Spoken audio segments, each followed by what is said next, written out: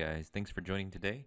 I will be going over uh, the brake system again. Uh, this time my brother comes over to help out uh, since he's adjusted uh, the bug uh, brakes before. So he's going to show me how he adjusts them in the proper way, at least to get them to work so I can roll it out of the garage.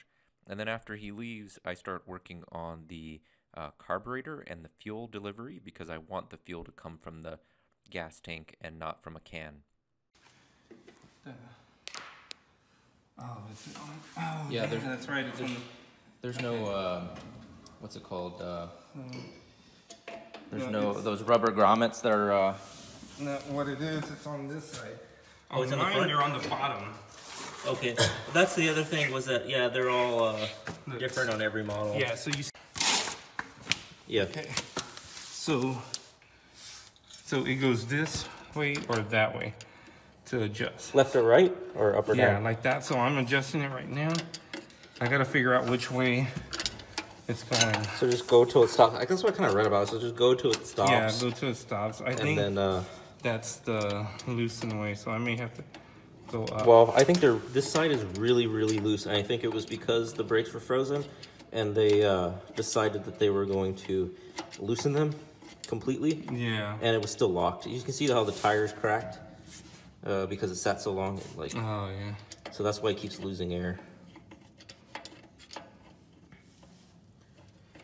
So I just keep doing that until it freezes, and then we'll, we'll know to back it off. So it's one way, one goes one way, one goes the other. oh, for the top pad and the bottom pad. Yeah, and if you need to know what it looks like without taking the wheel off, I have another video. Ev- eventually it'll break. Yeah.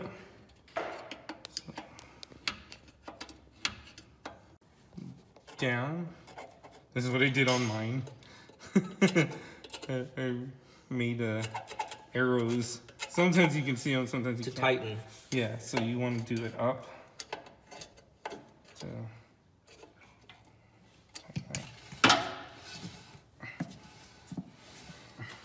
So now it's dragging a bit. Yeah. Okay. So that's. You kind of back it off a little, and then Get a it should couple make spins one. out It of should make one turn. That's how it's supposed to be. Like that. So that most likely should be good mm-hmm. on both. So you rotated one way, Yep. like that, for uh, one of them, and you'll see hear it catch. Mm-hmm. Then you rotate even see your pads right here. And that's Oh, I don't think I could That's see cool. it. Yeah, weird. Maybe it was. No, uh, one unless the holes are on the other yeah, side. the access holes are probably on the other side. Okay, So, so so those Usually, if that one was, you can't even see the arrows on that. I think it was. Yeah, I'll figure it out. I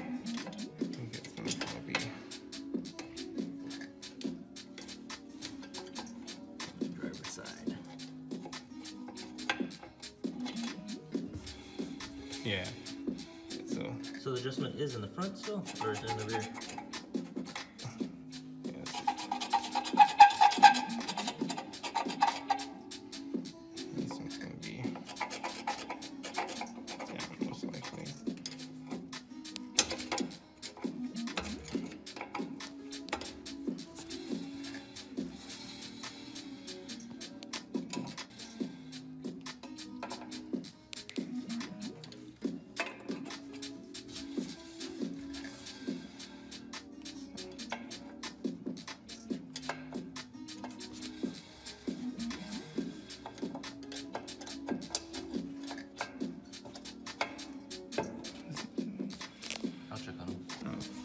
Oh, oh, he's Self out afterwards, so.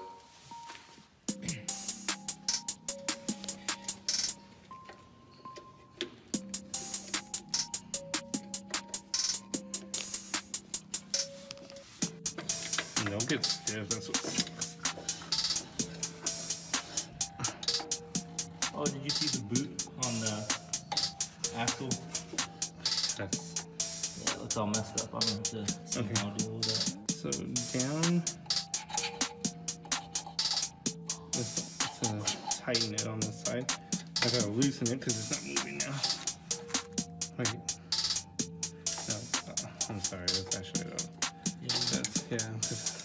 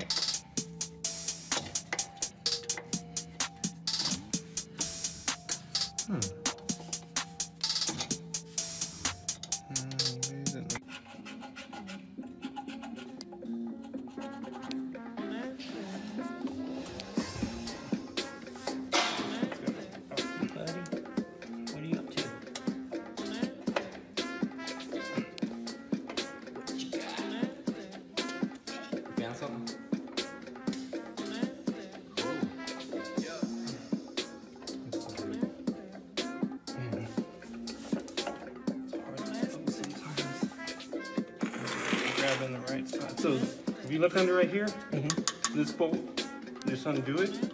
Let all the oil drain out. Then get these. When you tighten these, you have to lightly tighten them. Like, you know, you do, you know, you do my hand. And you tighten one, and then just pull across, but don't over tighten them. Okay. Yeah, I mean, the best way if you just like are unsure, you can just undo that, let the oil drain, tighten it back up.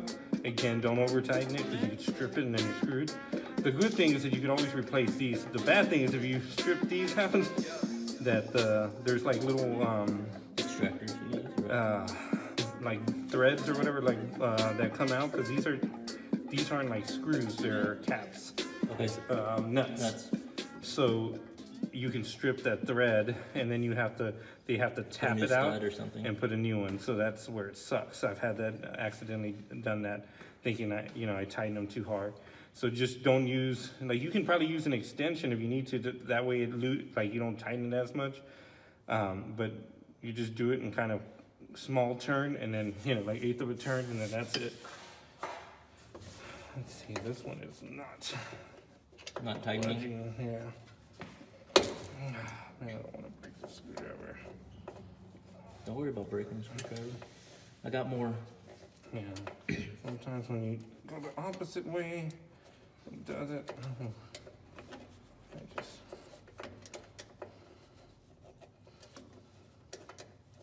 I'm trying to find the spot is here. Let me see. Let me see it. All right, so today is Tuesday. Um, I guess what I'm going to do today is I've already actually kind of started taking these lines off. So uh, just to test that this wasn't clogged through here, I connected another hose through it and I blew through one end and gas poured out the other. So um, I'm pretty sure the feed line uh, from the gas tank is clear because I cleared it out from the front to the rear, blowing um, the uh, brake clean through it into this the last time. Uh, so I'm pretty sure this line is clear, and today I'm sure that this is clear. I'm unsure if the previous owner had messed with the rod in there at all.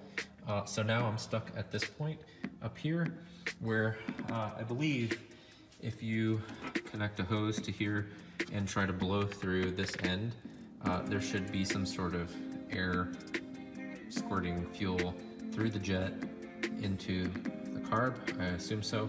I think my issue is is that um, everything's working up into that point, and as it comes out and goes into here, it's clogged.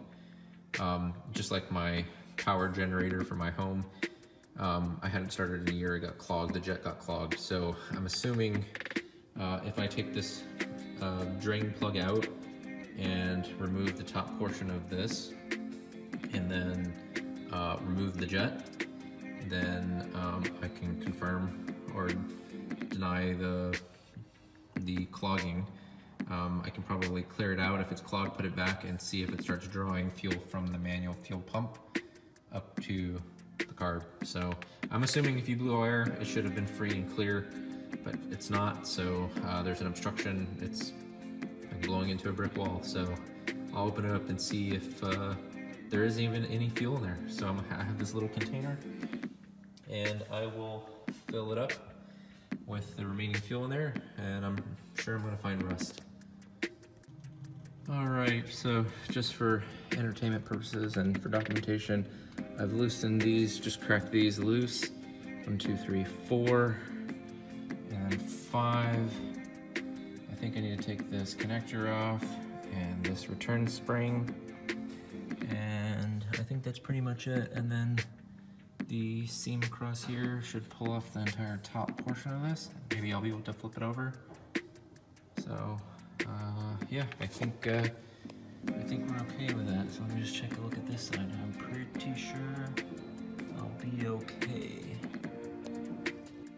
Again, for documentation purposes, this is the way the gasket was on top. After I pulled it off, of course it was sitting in there very nicely before I happened to mess with it here. It was very nicely sat in there. So that's the way it was. I pulled it off. This is the top. This is the bottom. Looks pretty much the same, no different colors. And now I need to look at the orientation of this little plastic clip of how I take this out and then I can take the float out and then go for the jet. The jet I'm gonna have to take out through that hole, the drain hole, um, and unscrew it. So I'll see if I can see anything after I get that off. Okay, so I said I'd show you what it's like. This is what it looks like in there. I'll probably clean this out with carb spray.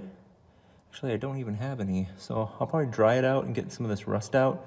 But right there in that tunnel is where that jet is, and I'm pretty darn sure that's clogged. So I'll unscrew it and see how bad it is. So here I am. I'm removing it right now. It's coming right out. It took a little bit of a thing to break it loose, but it should come out, fall out into here, and I'll pull it out from the top. All right, so reverse order. I need to put all the screws back in on the top.